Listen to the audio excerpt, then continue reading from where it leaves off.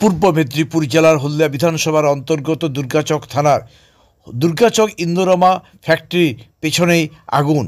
আগুন শোনা মাত্রই এলাকায় দমকল এবং দুর্গাচক থানার পুলিশ ঘটনাস্থলে এসেছেন। আগুন নিয়ন্ত্রণে আছে বলে সূত্রের খবর। গত কয়েকদিন আগেই ওই এলাকায় আগুন লেগেছিল। ওই এলাকায় ছটি দমকলের ইঞ্জিন এসে আগুন নিভিয়েছিল। আজ পুনরায় সেই এলাকায় আগুন লেগে যাওয়ায় এলাকার মানুষ আতঙ্কে রয়েছেন। কাছেই রয়েছে অ্যামোনিয়া কারখানার ফ্যাক্টরি, যাতে কোনো রকম ভয়াবহ দুর্ঘটনা না ঘটে। সেই জন্যই সচেষ্ট রয়েছেন দুর্গাচক থানার পুলিশ এবং দমকল বাহিনী।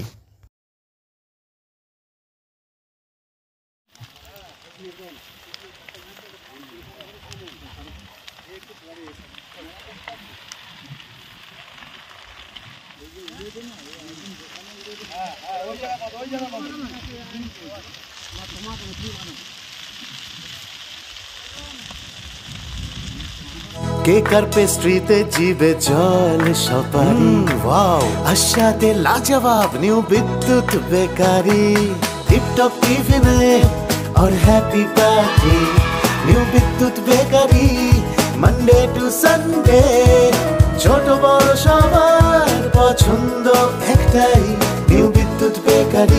প্রতিদিন চাই চাই।